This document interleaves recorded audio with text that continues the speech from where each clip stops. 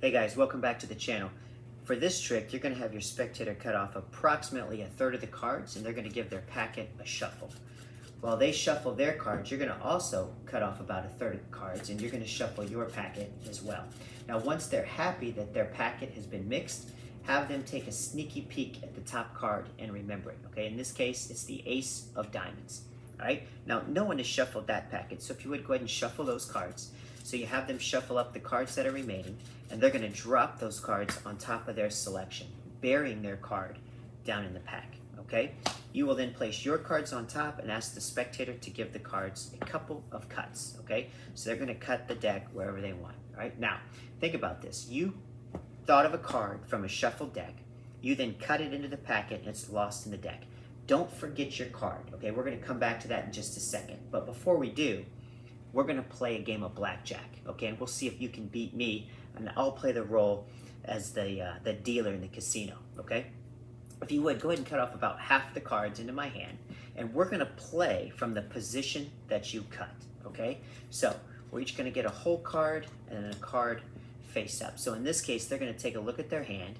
They have a six and an ace, which is a one or 11, so a 17. So let's say they stay, all right? They're not gonna take a hit. Over here, we've got a jack and a four, which is a 14. Okay, so I would take a hit with a 14, um, and I got an eight, so I busted with a 22. What was your score? They're gonna say they had a 17. So in this case, they won, they beat the dealer, okay? Now, here's what's interesting though. We're gonna use your score in this blackjack game to find your card. Since you scored a 17, we're gonna count down to the 17th card and see if we get a hit. All right, let's take a look.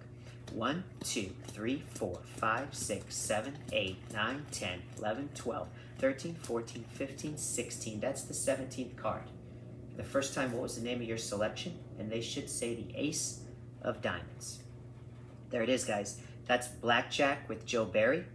Um, and if you want a tutorial, stick around because we're going to go over that just a second. Okay, now, how does this trick work? Here's what we're going to do. Um, you need a regular pack of playing cards, 52 cards, no joker, and then you're going to use a card that has a reverse breather in it. So I've put a reverse breather into my nine of clubs, okay? This card goes onto the bottom of your packet, and then you're going to put 16 cards underneath of it, okay? There's eight. There's eight more. So there's 16 cards underneath the breather on the bottom of the deck. Have the spectator cut off approximately a third, and they're going to give their cards a shuffle. You will now reach over and cut to your reverse breather, and you're going to give your cards a shuffle. Now, whatever you do here, you got to make sure the reverse breather ends up on the bottom, okay? So you could shuffle it into the middle of the pack, and then you could say, I want you to give your cards a cut, and as you demonstrate the cut, you cut the reverse breather to the bottom, or you could slip shuffle it and just leave it on the bottom as you go through your shuffling procedure, okay? Up to you. They will now take a, a peek at their card. In this case, it's the Jack of Diamonds. And now you say, now no one shuffled those cards. Now you know there's 16 cards there because you put them on the bottom of your packet. So you have them pick those up and they're gonna shuffle these 16 cards and they're gonna drop it on top of their selection, which is the Jack of Diamonds, okay? So now, if you put your packet with the reverse breather on top, as long as we cut the breather to the bottom, the selection, the Jack of Diamonds, is going to be in the 17th position from the top. So they can now give the cards a couple of cuts. Sometimes they'll cut to the breather, but as you pick it up, just take a peek and see if the nine of clubs is on the bottom. I can see that it's not. So I just recap, you, you shuffled the cards, you cut the cards wherever you wanted, and as you're recapping the effect, what's happened so far, you just casually cut your breather card to the bottom of the pack, okay? So now, at this point, you're set for the ending. Say, don't forget your card. Before we get to that, we're gonna play a game of blackjack. Now, you need them to cut deeper than 17 because you wanna get that packet out of the way so you don't mix up how far down in the deck their card is. So I'm borrowing this idea from Joseph Barry and his effect 10 cards for Levante. Um, he has them cut off and they play poker from the position that they cut. So I'm doing that same thing using that idea from Joe Barry.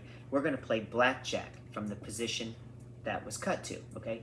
Now the reason why I came up with this trick was because blackjack is a game revolving around a number. And I thought, what a great way to lead into a card at a number. And a lot of these ideas feel very Joe Barry like to me, which is why I call this trick Blackjack with Joe Barry. But anyway, we're going to now deal the cards out, a Blackjack hand. They're going to take a look at what they've got. So in this case, they have a 12. Okay, so you ask them, do you want to hit? They're going to say, yes, they want to hit. Okay, so let's say they take a hit. So now they have a 16.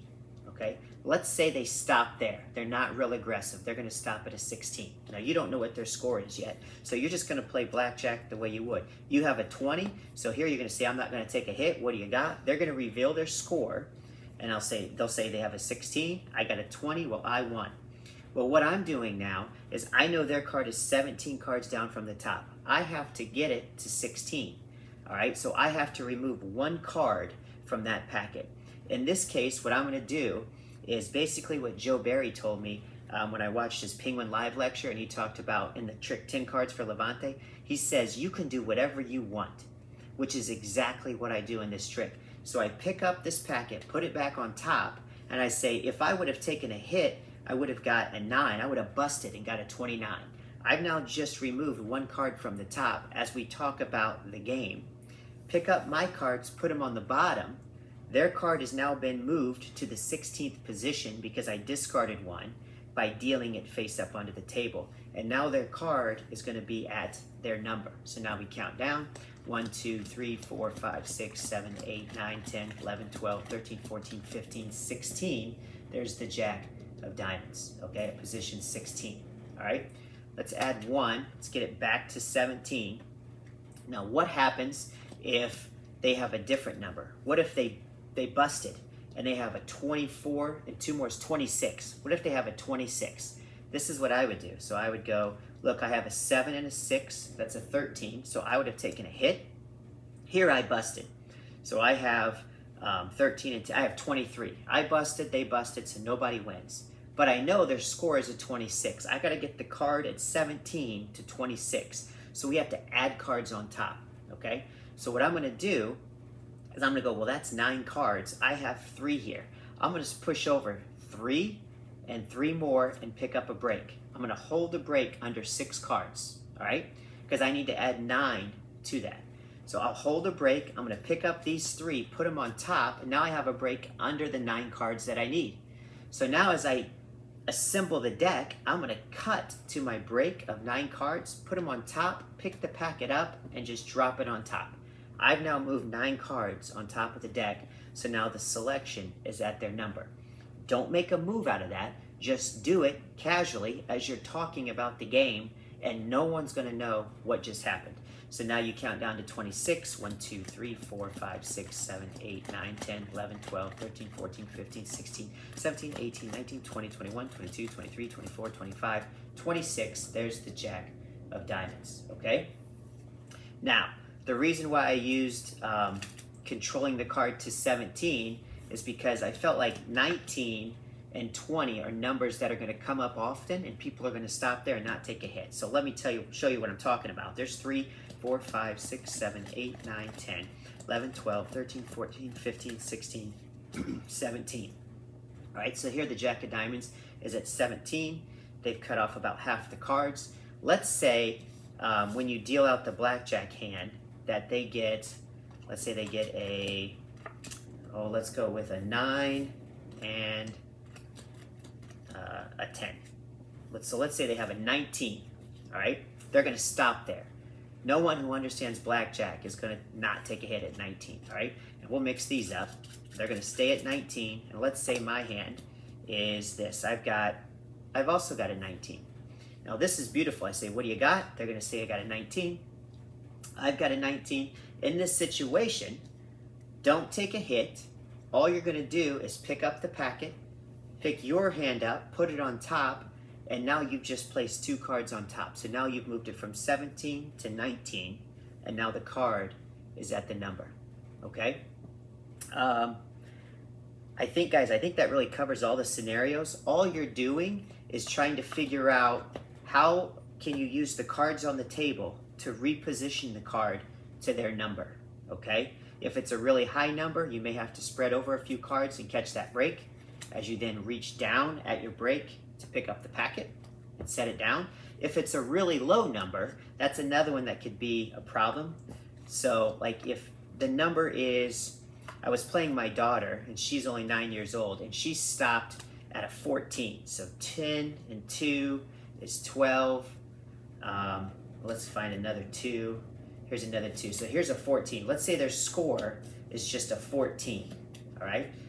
In this case here, you have to now remove three cards from the top of that packet. So what you're going to do is you're going to reveal your score. It's a 15. You're going to reach down and pick up the packet and just put it on top. As you say, oh, if I take a hit, I had 18, I would have had a 24. Okay, and you would say, and you can see, if I continue to take hits, the cards are different and I would have busted. So you just deal however many cards you need to deal as you're talking about the game to get them off the top of the pack. Now I can scoop these cards up, put them on the bottom, talk about their score, and now their card's gonna be at the number because I literally just dealt the cards as I was giving myself a hit, talking about the game, what cards would have come up, and now you've repositioned it um, to 14. Now most people aren't gonna stop at 14, but if you're doing the trick to a, to a nine-year-old, they might, okay? Um, that's it, guys. It's called Blackjack with Joe Barry. I hope you guys liked it. Maybe you can tweak that and make it work better for you. Um, if you got any comments about it, don't forget to drop those down in the comments. Thanks, guys, for watching. Till next time, take care.